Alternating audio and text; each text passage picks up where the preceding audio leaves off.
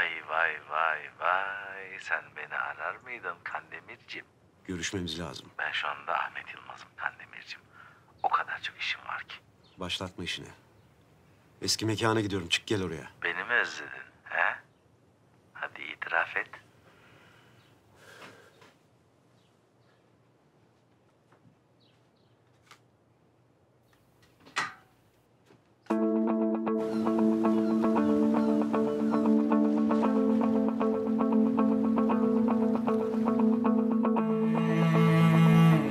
Kızım. Sana diyemediğim o kadar çok şey var ki. İlk demek istediğim kelimeyle başladım anlatmaya. Kızım. Eskiden dünyayı güzelliğin kurtaracağına inanırdım. Bir insanı sevmekle başlayacak zannederdim her şey. Öyle değilmiş. Her şey bir insanı sevmekle bitiyormuş meğer. Benim anneni sevdiğim gibi. Sen uyuyup da büyürken başucuna oturup masallar anlatamadım sana.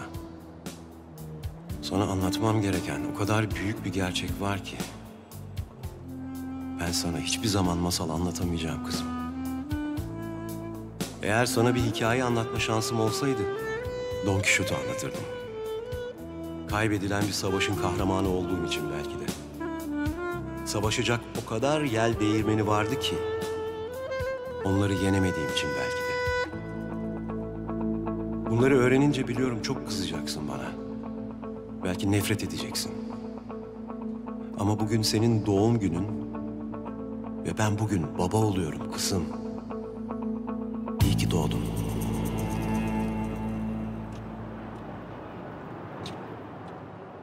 Kandemir. Beni ne zaman buraya çağırsan vardır bir hesabın diye düşünüyorum. Ulan İstanbul diye bağırdın mı? Kabasın kaba. Niye yaptın lan bana bunu? Hı? Niye göz diktin hayatıma? Kızımı niye çaldın lan benden? Hırsıza niye çaldın diye sorulur mu?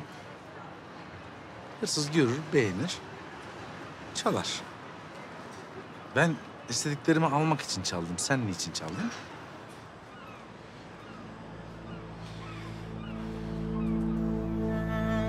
Evliliğimizin ikinci yılıydı. Az kazanıyorduk ama mutluyduk. Sanem'le tek istediğimiz bir çocuktu. Çok bekledik. Bekledik. Bekledik. Ama olmadı.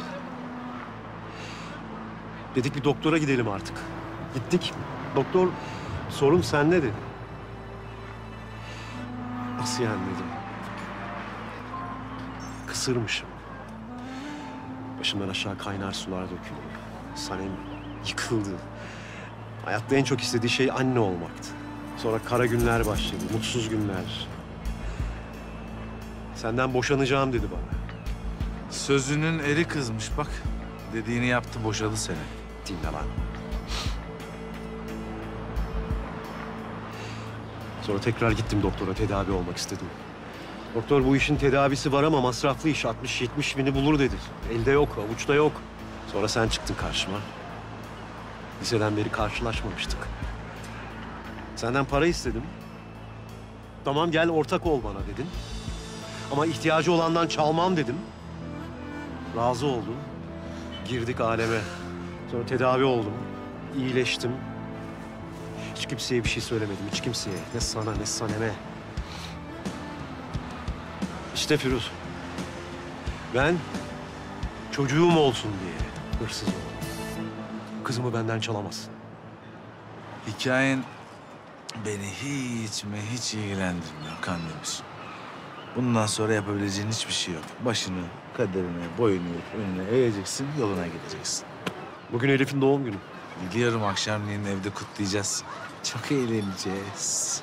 Ben de kutlayacağım Elif'in doğum gününü. Gelip alacağım onu. Sen kim olarak kutlayacaksın lan Elif'in doğum gününü? Ha? Kim? Ben sana bir şey söyleyeyim. Kötülük yapılan bir şey değildir. Kötülük olunan bir şeydir. Sen iyisin. kaderine razı geleceksin. Babasıyım lan ben onun. Elif'e her şeyi anlatacağım. Bütün gerçekleri anlatacağım lan. Sen Elif'in yanına yaklaşamazsın. Elif'in yanına yaklaşacak olursan o çocukların dediğin çocuklar var ya... ...hepsini hapislerde sürüm sürüm süründürürüm. Ah! Ah. Acıdı. Eh. Hmm. Elif'ten uzak dur. Elif'ten uzak duracaksın. Son round başlıyor Firuz. Bu sefer iyiler kazanacak. Ha?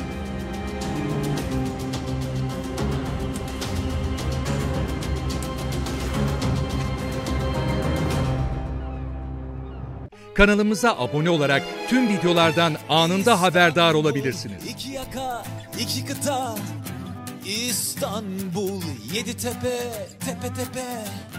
İstanbul, içi beni, dışı seni. Ulan İstanbul, sen mi büyük, ben mi büyük?